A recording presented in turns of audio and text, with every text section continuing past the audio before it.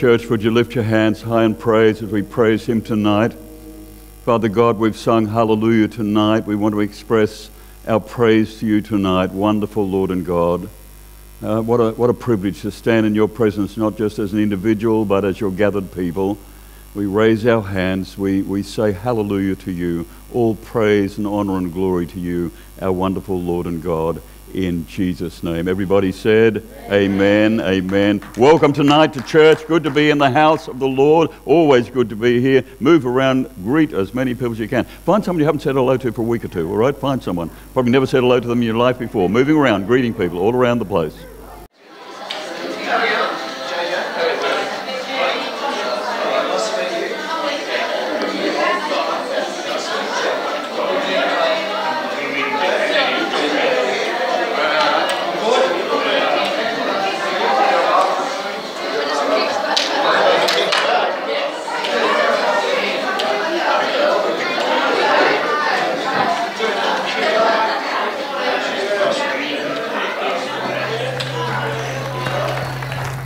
Please be seated, church. Unless you go to kids' church, you'll be on your way out the door following Mrs. Lara and her team of green shirted kids' church people tonight. There they go.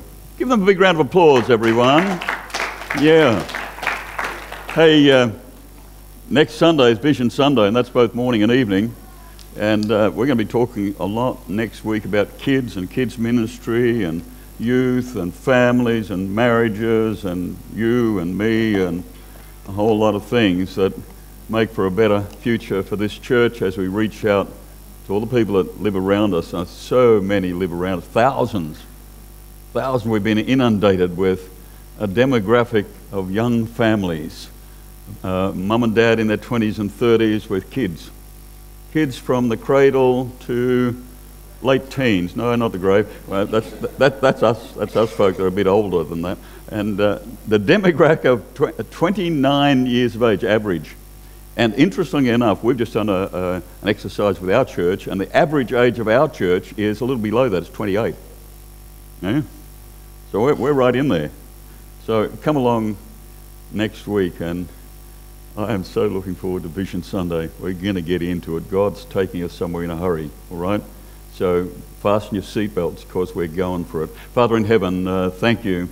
Thank you for your, what you're doing in this church. Yeah, the, the empty grave says that all those fears are banished. Thank you, Father God. Thank you, Lord God. Take us forward uh, tonight and with Vision Sunday and in the days that lie ahead. Uh, we, we don't want to look back, we, we're just looking forward. So thank you in Jesus' name. Amen. Yeah, fantastic song, that Overcome song, but here's another one that's uh, taken my attention. I know it's taken yours, and it's called Do It Again. It's called Do It Again, and it addresses the fact of the miraculous. Yeah, we didn't get that sign up there tonight, but right up there, imagine you can see up there miracles right on that third screen. That's what it should be there. It didn't quite make it there, but it says miracles, all right? The, the, the graphic's been done, it just hasn't been painted on the wall up there miracles. The catch cry of the song, Do It Again, comes in these lyrics I've seen you move, move the mountains, and I believe I'll see you do it again. You made a way where there was no way, and I believe I'll see you do it again. Your promise still stands. Great is your faithfulness, faithfulness. I'm still in your hands. This is my confidence. You never failed. Whether it was the miraculous in Joshua's day of the walls of Jericho coming down, or the miracles in Elisha's day, or the miracles in Elijah's day, or, or the miracles in Moses' day, God moved mountains, God uh, knocked walls down, uh, He opened up the Red Sea so that uh, God's people could cross through, and He closed it in again when His people were through, and those who were chasing them were trying to get through to get them. He closed it in on top of them. He opened up a way through the flooded Jordan River. He provided food in the wilderness and water in the wilderness. Uh, he's done it before, and I believe He'll do it again. It's the same God. He's done it before. He will do it again. He is faithful. And so, in the coming weeks, We'll be looking at some of the Bible faith heroes and the miracles that occurred in, uh, uh, occurred in their lives and in their ministries. And wherever they went, there seemed to be a miracle following them. It wasn't them doing it, it was God that was doing it because He had touched their lives. God has done it before, and He will do it again. That's the thesis and the theme uh, that we're following in these weeks in this series. First hero of faith that we're going to be looking at uh, tonight uh, and, and faith and miracles is Moses. Moses. Hebrews chapter 11 uh, contains stories and accounts of uh, God's, uh, I call them heroes of faith. And uh, th- this chapter 11 of the book of Hebrews, I call it the Heroes, heroes of Faith Hall of Fame. Uh, there's numerous heroes, faith heroes there. And Moses made it into that book. Moses made it into that chapter. Uh, Moses is recorded in the Hall of Faith fame. So he's worth looking at when it, if God's done miracles in him and through him and around him, uh, and he's going to do it again, he's worth looking at. Hebrews chapter 11, verse 23, in, the, in this uh, book of the, the Hall of Heroes of, of Faith, uh, says this Hebrews 11, 23. By faith, Moses' parents hid him for three months after he was born. Can you imagine that, parents? Hiding a baby for three months. I don't know what they did I had five of them, right? And I got 16 grandkids, and I've had them stay over. And I, I'd never be able to hide any of them, kids or grandkids. Just when you try to calm them down, they're excitable, and, or, or they get upset, and they kind of make a noise, if you know what I mean. But they hid him, hid this fellow for three months. Three months. Because they saw he was no ordinary child. And they were not afraid of the king's edict. So I, I, need to tell you about the king's edict, why they're hiding this child for three months and how they got to do the, the hiding and kept it, you know, away from the king who had an edict.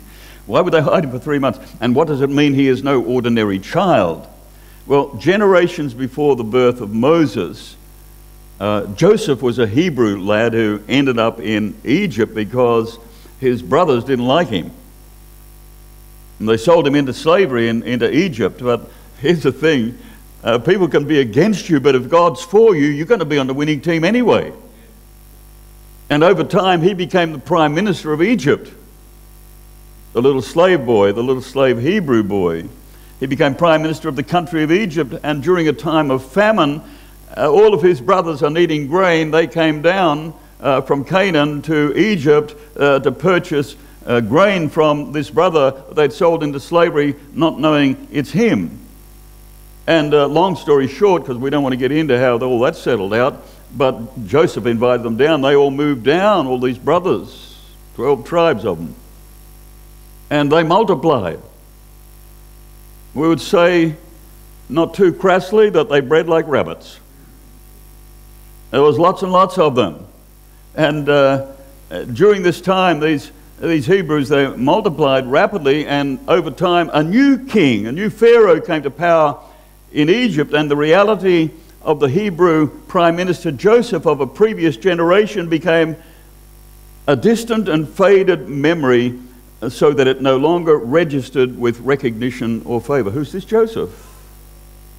Exodus 2 8 to 10 in your NIV, then a new king. Then a new king. then a new king to whom Joseph meant nothing came to power in Egypt. Look, he said to his people, uh, the Israelites have become far too numerous for us. They, they bred like rabbits, there's so many of them. Come, let us deal shrewdly with them, or they will become too numerous, and if war breaks out, they will join our enemies and fight against us and then leave the country. So they deal shrewdly.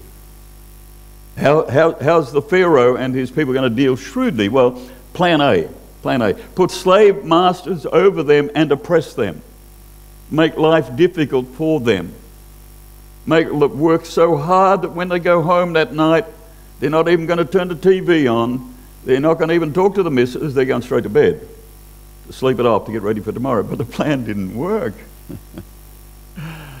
when you're against God's people, the plan won't work. The plan didn't work, and the Hebrews continued to multiply.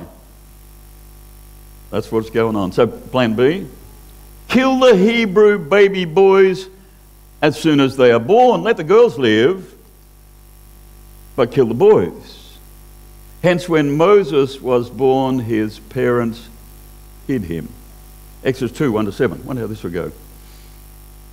Now, man, this is good. Now, a man of the tribe of Levi married a Levite woman, and she became pregnant. Didn't matter how hard the dad was working during the day with the slave masters, he still got together with mum when he got home and gave birth to a son. And when she saw he was a fine child, I'll come back to this fine child in a minute, she hid him for three months. We've got a saying in Australia that other countries, English speaking countries, don't tend to have. When someone gets cranky, they spit the. They must have had a pretty good dummy. He wasn't spitting the dummy, they kept him quiet for three months. But when she could hide him no longer because he spat the dummy, she got a papyrus basket for him and coated it with tar and pitch. And then she placed the child in it and put it among the reeds along the bank of the Nile. And his sister stood at a distance, at a distance to see what would happen to him. Next uh, slide. And then Pharaoh's daughter went down to the Nile to bathe, as she did. And her attendants were walking along the riverbank, and she saw the basket among the reeds and sent her female slave to get it. And she opened it up and saw the baby. He was crying. And she felt sorry for him. This is one of the Hebrew babies, she said. And then his sister asked Pharaoh's daughter, Shall I go and get one of the Hebrew women to nurse the baby for you? It's a good story, isn't it? Uh, see, her dad was going to kill them all. And she wants to take the boy home now, right? Exodus uh, chapter 2 and uh, verse 2 in your NIV says a fine child, right? A fine child, we just read that. Now, uh, if you read the same thing uh, in, in uh, another translation, uh, like the NLT, here we go, next one, next slide. It says, in the next slide, it says, no ordinary child. Now, that would be Acts 7, verse 20. No ordinary child.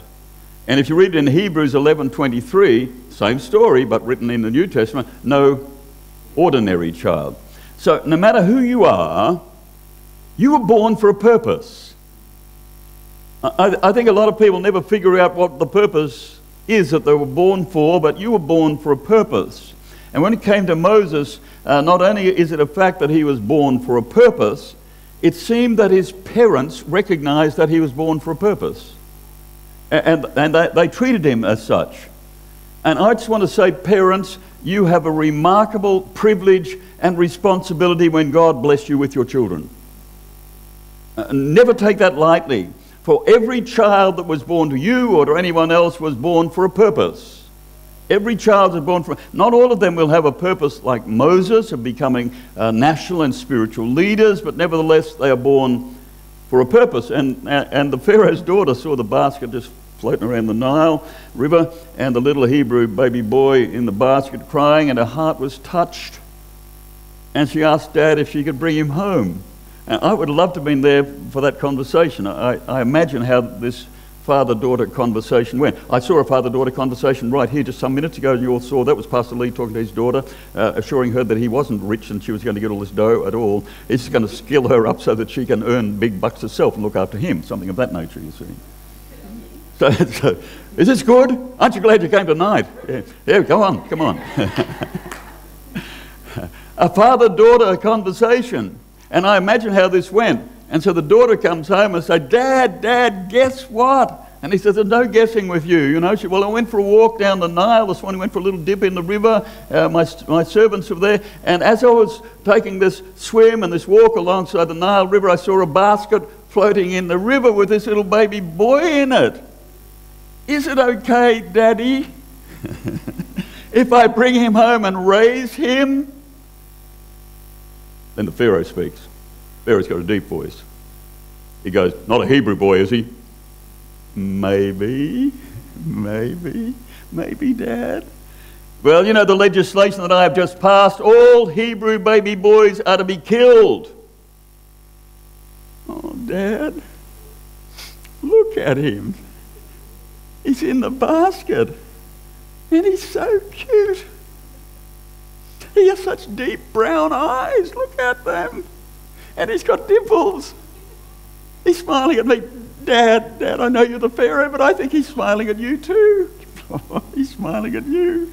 Daddy just smiled at you. Can I please keep him? Oh, all right then. All right then. What harm can one little baby boy cause?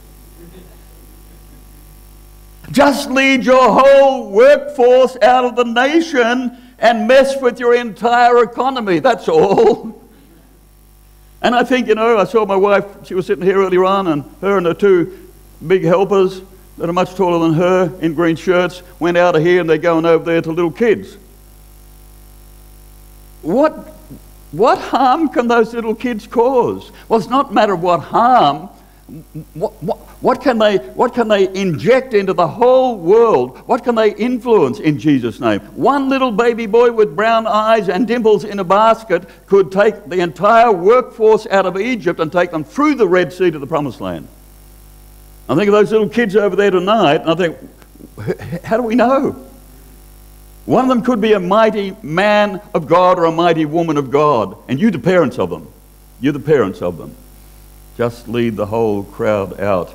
Those of you who work in nursery and kids' church, you are molding and shaping the destiny of those who could become world changers. I hope you're hearing this.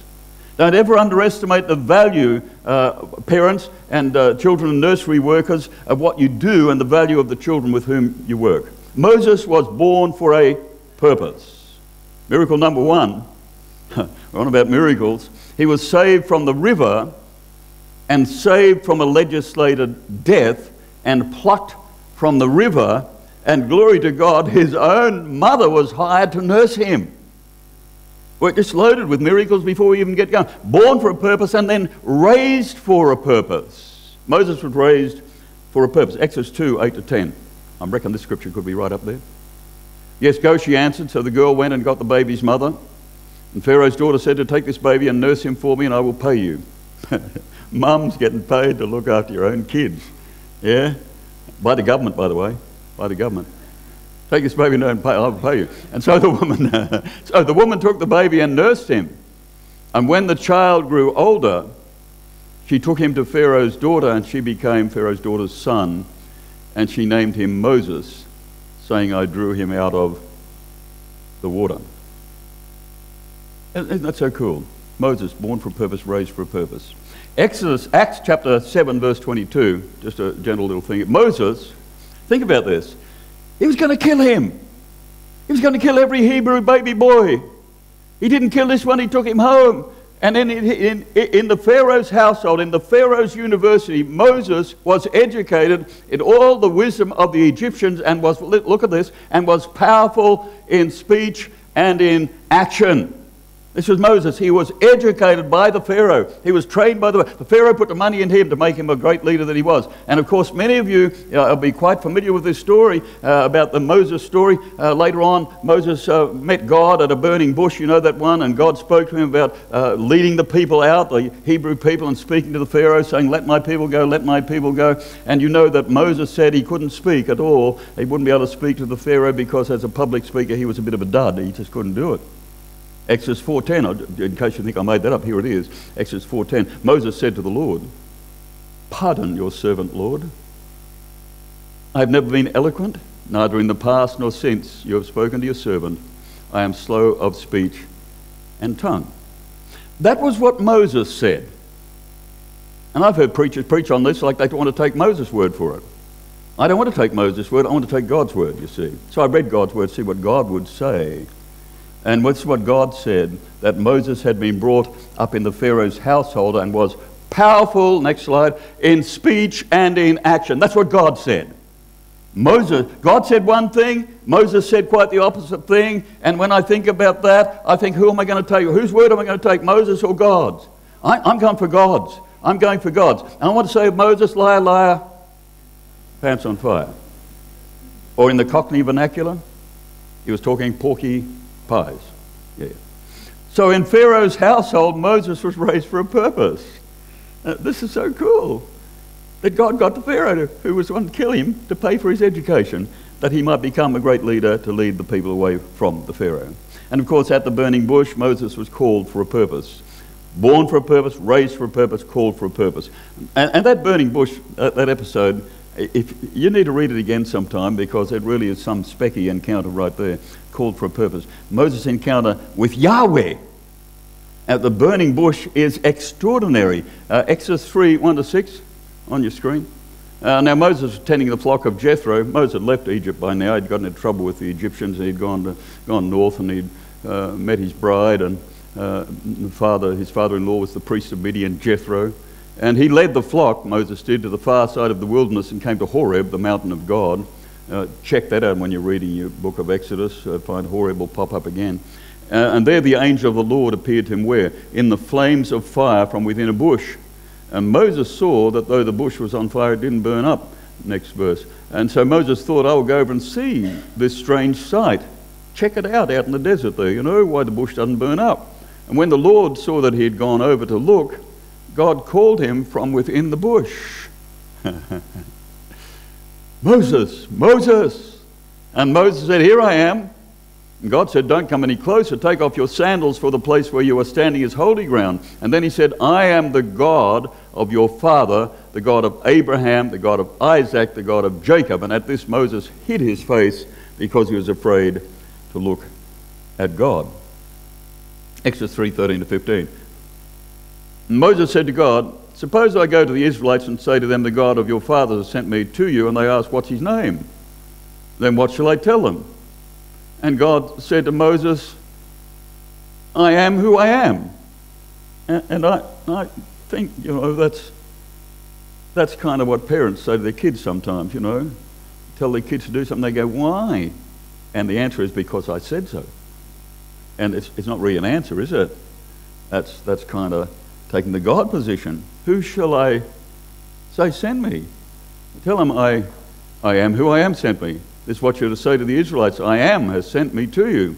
And God said to Moses, Say to the Israelites, The Lord, the God of your fathers, the God of Abraham, the God of Isaac, the God of Jacob, has sent me to you. This is my name forever, the name you shall call me from generation to generation. I am who I am. Next slide.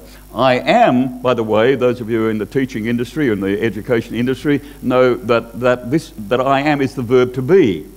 It's the verb to be. And uh, the thing about this verb to be, this particular one, uh, Yahweh is the verb to be. The name Yahweh. It is the essential I am, and it is tenseless. It, it is neither past tense, present tense, nor future tense. And so it is I am who I am, I was who I was, I will be who I will be, I am who I was, I am who I will be, and you can mix all that because the tense is not there. The name Yahweh is the essential verb to be. I am, I have always been, I am the Alpha and the Omega, I have always been, I always will be, and I am right now. And in John chapter 8, verse 58, uh, Jesus speaking, Very truly I tell you, Jesus answered, before Abraham was born, I am. Hebrews 13:8 says Jesus Christ is the same yesterday, today, and, and forever. Jesus is the great I am. He always has existed. Uh, the Son of God is God the Son. He was not created, He is the Creator. No argument about that. The eternal Yahweh met Moses at the burning, burning bush and called him for a purpose, and the purpose for Moses was to lead God's people out of slavery in Egypt and to lead them into a new life in the promised land. Whichever way you slice, and, and slice it and dice it, a miracle happened right there in the wilderness at the burning bush. Moses met God. He met Yahweh. Hebrews 11:26. By faith, he, that's Moses, uh, left Egypt, not fearing the king's anger, he persevered because he saw him who is invisible. he saw a burning bush. He saw no persona in that bush. He saw him who is invisible. What happened at the burning bush? God met, uh, Moses met with the invisible, eternal God. And although at the burning bush, Moses initially told God that he would never be the public speaker because that's not who he was, who God wanted him to be. Long story short, he eventually stepped into that role. He eventually stepped into that role. And the miracles continued to flow as Moses depended on God to be the leader that God called him to be. In fact, it doesn't matter what you do for God, for life, unless you're depending upon God, you're doing it in your own strength, it's not worth anything. Without faith, it is impossible to please Him. You need to be trusting Him uh, to be pleasing God. So he stepped into that role. Uh, Acts 7:36, he led them out of Egypt and performed wonders and signs in Egypt and at the Red Sea and for 40 years in the wilderness. I just want to tell you something about wonders and signs. And if it's not on the screen, I'm hoping it might come up on the screen. Oh, it does. Wonders and signs equals miracles. He, he just did all these miracles out there. He saw them. And a lot of miracles for 40 years. Lots and lots of them. And if we were going to give note to all of them tonight, you'd get home late. And I want to not get home late, and I don't want you to get home late, so I'm going to quickly give you four of them, all right? And the others may turn up somewhere as we go through this series uh, later in, in the month. Moses led those Israelites out of slavery toward the promised land. And according to the record of how many he had in the book of Numbers, by the way, Exodus, I couldn't find it, in the book of Numbers, this is what it says, uh, and hopefully it'll be on your screen 603,550 men aged 20 and up. That's what it says. That's, a, that's, a, that's, that's right there. That's the words it says. That's verbatim. As well as women and children. Now, you can start to crunch those numbers, see how many that might be. But, you know, if like three quarters of those men were married, well, you can double that lot because they've got the wife, and if there's two kids in each of the families, and maybe they bred like rabbits, there might be more than that. I reckon you got up around three mil. Now, I'm thinking about that because there are some people right in this auditorium tonight that last Sunday they went up, up the stadium to see a cricket match. First biggie at a, at a match. And I think at the Optus Stadium, there weren't quite that many people. There, there was 53,781. And there was a bit of a challenge for the transport industry in WA and the government to get them in and to get them out. Yeah, and they pulled it off okay, I believe. That's just 53,000, man. Moses had three mil. He had no trains, no buses. So you, you, you think about that. And, and, and he organized this. And they left Egypt, moved north, and camped near the Red Sea. And look who's coming out after them. Because Monday morning came and the bosses turned up to work and none of their staff were there.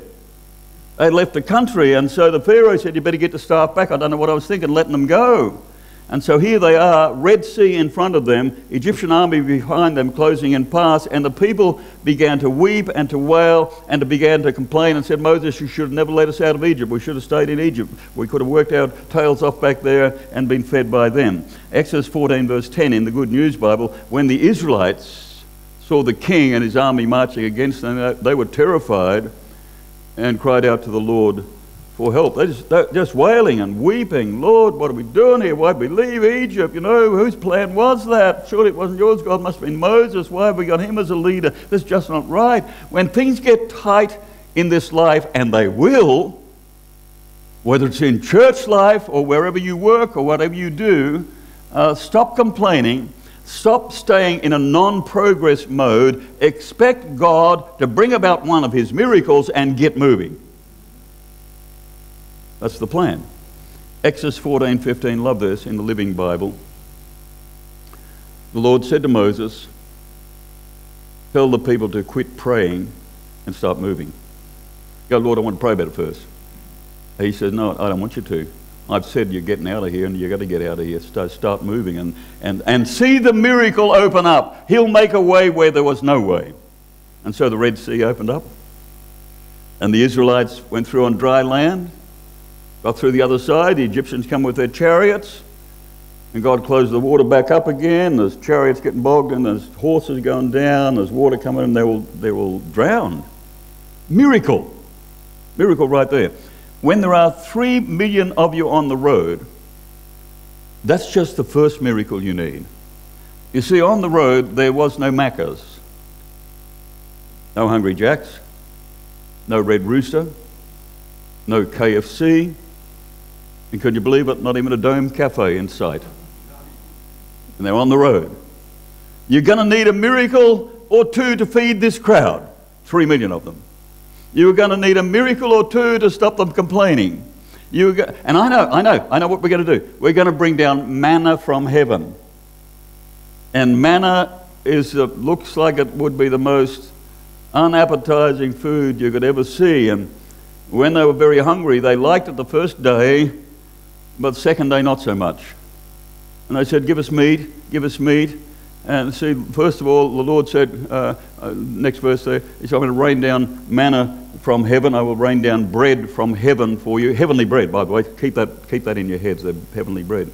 And they go, We're sick of the heavenly bread. We want some meat. And actually, when you read the text, it says, God said, I'll give you meat, all right.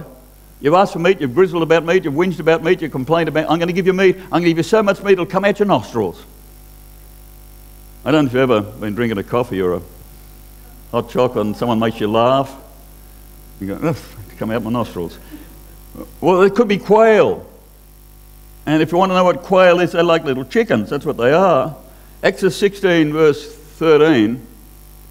The, that evening, quail came down and covered the camp. Little birds are just falling out of the sky and coming down there picking them up, and they've got KFC. They've got Red Rooster, mini Red Rooster, you know. Long trip, long trip. They have, they have their bread and they have their chicken. You think, wow, miracles, miracles, miracles. Um, but you're bound to get thirsty. On the long trip, Exodus 16, God instructed Moses with his, with his staff to strike the rock and water flowed. Miracle. But just because you did it that way once, don't, don't assume and presume that's the way you're going to do it every time because the next time they needed water, God didn't say strike the rock, He said speak to the rock. And Moses is cranky now with the people because the people got him cranky. I feel for Moses. I feel for Moses. Three million out there grumbling about this and that. Well, instead of speaking to the rock, he whacked it twice, and God said, Sorry, Moses, you are not entering the promised land. That's always stayed with me. So I don't want to, I don't want to erupt, and I did that once. It never worked out well. Whenever I've done that, it's not worked out well. Whenever I've reacted against people, I've seen some of you react. It's never worked out well for you either. It's never worked out well when you stick it on Facebook either. Don't do it. You got your venting. Talk to someone trusted, vent to them, and then tell them, I'm sorry I ever vented at you, and then wash your mouth out, all right, and get over it, because it's not going to serve you well at all. Miracle. They were fed, they were watered. Many, many more miracles, but I'm just going to give you one more this evening. This is one of my favourites right here, and you need to take this one home with you tonight. The Israelites on their journey came up against the military might of the Amalekites, Exodus 17. And Joshua and the uh, Israelite army did battle with them, while Moses actually stood on the hill with his staff raised in prayer mode. And while he's raised the staff in prayer mode, Israelites are winning and the Amalekites aren't. But after, you know, a long day with your arms like that, they get a bit tired and uh, a bit tired, and whenever they start to get tired and come down here like so, uh, the Amalekites would win. And so Moses' troops came up and they stuck a rock on it. said, sit down, man, on a rock. And then they got one on each side of him to keep his arms up with the staff, and they kept it up there till the sun went down. And at that time, uh, the Israelites uh, defeated the Amalekites. And here's the, here's the lesson from this you need to pray for your leader, and you need to keep your leader in the prayer mode. The miracle happens when we lean into God with prayer. And the sun went down, and the Israelites prevailed and won the battle. Now that's a miracle, but it's attached to the leader being given the support to spend time in prayer. Father in heaven, thank you for the miracles. You've done it before, I believe you can do it again. Make us to be people of faith, Father. Make us to be people of prayer. Make us to be people to move forward and not use prayer as an excuse for not moving forward. Father, we believe you. We trust you. We entrust ourselves to you. And we move ahead in faith. Thank you, Father God. In Jesus' name, amen. When you came in tonight, people, you would have got one of these. If you didn't get one of these when you came in tonight, just raise your hand. I'll get one to you in a moment. Yeah, this is communion. It's a two layered thing. And I just want to think about you know, I think that the manna when it came down probably looked like this. The description I have in my Bible, it looked like this. This is not a, a tasty steak sandwich, people, but it is bread from heaven. I believe it's a miracle in communion. And I believe if we miss the miracle of communion, we're just wasting our time eating some blotting paper and drinking some very ordinary grape juice. But if we see the miracle, it's bread from heaven. And in this bread from heaven, Jesus said of himself, I am the bread of life. As we read 1 Corinthians chapters 10 and 11, we understand that there's healing in the sacrifice of Jesus that is represented in this bread. I, I, I, just, I just pray so much for everyone in this house to receive the healing, to receive the well being, and to receive the abundant life that Jesus offers. Would you take the bread and eat it? It's bread from heaven. It's a miracle in Jesus' name. Receive what He has to offer the abundant life.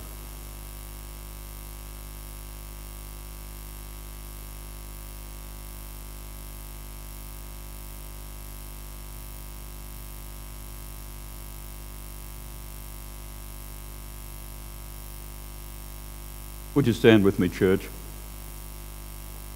Let's go to the second layer. On the cross of Calvary, our Lord Jesus Christ shed his blood. In my Bible, I'm told that the life is in the blood. Uh, this represents the very lifeblood of Jesus. This is my blood, he said, poured out for you. It's lifeblood.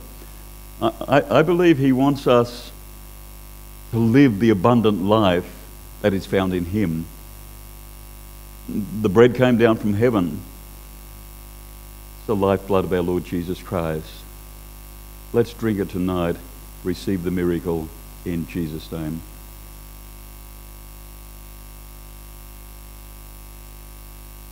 Our thesis and our theme for this series of messages is that God's done miracles before. He did them in Moses' day. It's just not some old fashioned thing that's back there in an old, outmoded book. I believe He'll do them again. I believe when we, we trust Him, when we look to Him, we're going to see the miracles, we're going to experience the miracles, we'll see people around us changed because of the miracles. We've got a song to sing tonight. Let's lean into Him in prayer. Let's stay in prayer mode. Let's, let's raise the staff in prayer. And when our arms get tired, let's get someone else to help us keep the arms up raised in prayer in Jesus' name. Ready for the song? Let's get ready to sing it. Father, we've read your word. You've spoken to us tonight about the miraculous. You've knocked down walls. You've plucked a baby out of the water given him an education that made him a leader. You've opened up the Red Sea, closed it again. Bread from heaven, meat in the desert, water in the desert,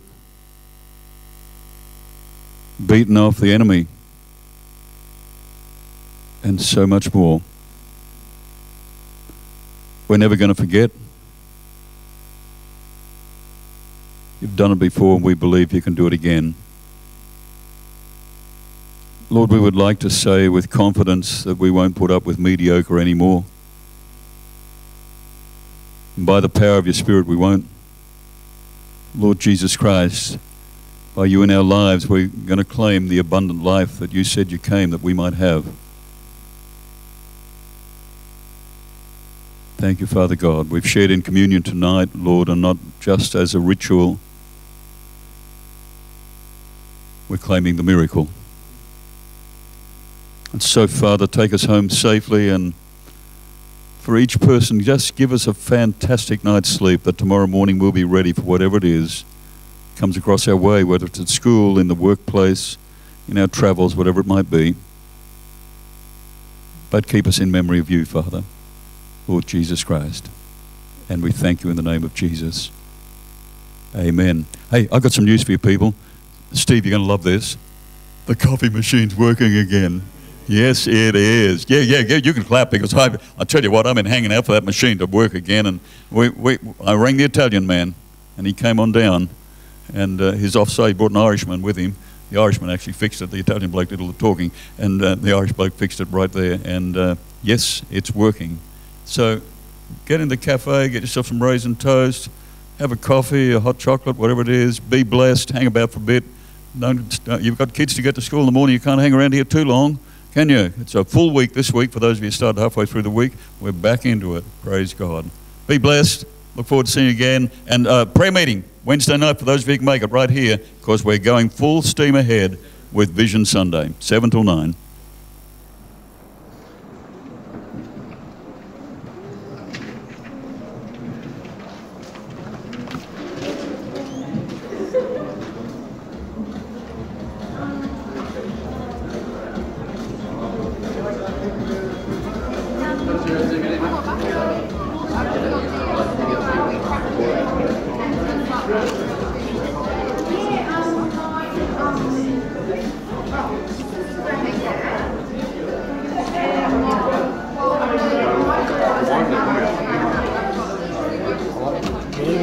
Yeah.